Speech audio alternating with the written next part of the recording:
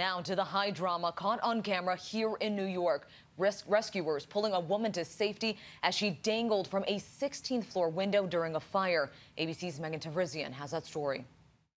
This is really a heroic rescue, and it really shows the talent and the bravery of the members of New York City Fire Department. This morning, two New York City firefighters being hailed heroes after saving a woman dangling from the 16th floor of this high rise. It was crazy. I thought I was going to see someone die today.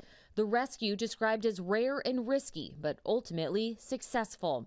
What was going through my mind, I just, I didn't want to see anybody fall. That was all I cared about. I just wanted to get her inside. Tuesday afternoon, firefighters arriving to this apartment in Harlem, seeing a woman hanging outside her windowsill, frantically trying to avoid the heat and flames inside.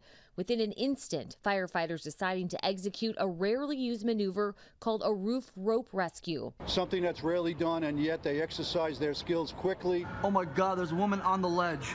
Images showing one firefighter breaking the windows of the floor above and then lowering a firefighter to the woman to secure her. You can see her clenching to the window, the sill only a few inches wide. I was right behind her, so if she did decide to jump or let go, I was holding her to the glass. I had one arm inside the window and I was holding on to the wall there, and I had my other arm around her waist. Minutes later, crews hoisting the woman to safety. The rescue met with cheers from onlookers. It was awesome. Um, that was hero, superhero, Spider-Man superhero stuff that I saw today.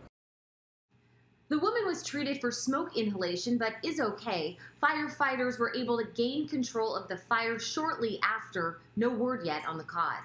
Will, Mona. Incredible. Thank you, Megan.